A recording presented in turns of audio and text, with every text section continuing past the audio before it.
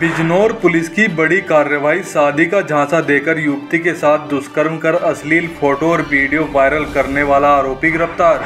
बता दें कि बिजनौर के धामपुर थाना क्षेत्र के एक मोहल्ला निवासी युवती की धामपुर के मोहल्ला कालियावाला के रहने वाले हर्षदीप चौहान से करीब तीन महीने पहले दोस्ती हो गई थी, जिससे दोनों के बीच बातचीत का सिलसिला शुरू हुआ। बताया जा रहा है कि युवक ने युवती को अपनी बातों के झांसे में इस कदर फंसा लिया।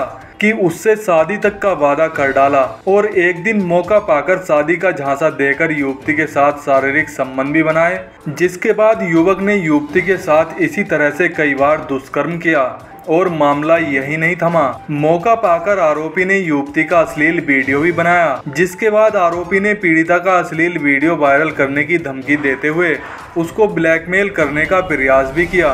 यह भी जा रहा है कि युवती ने जब उसकी बात नहीं मानी और उसका विरोध किया तो आरोपी ने उसका फ़ोटो सोशल मीडिया पर वायरल कर दिया। वहीं अब इस मामले पर युवती के पिता ने आरोपी के खिलाफ धामपुर थाने में दुष्कर्म, ब्लैकमेल करने और धमकी देने की तहरीर दी है, जिस पर संज्ञान लेते हुए पुलिस ने केस दर्ज कर आरोपी की तलाश शुरू कर दी और आरोपी को गिरफ़्तार कर उसका चलान भी कर दिया है। डीपीपी न्यूज़ से सिकुल कुमार की रिपोर्ट। आप भी कमेंट कर अपनी राय ज़रूर दें। नमस्कार।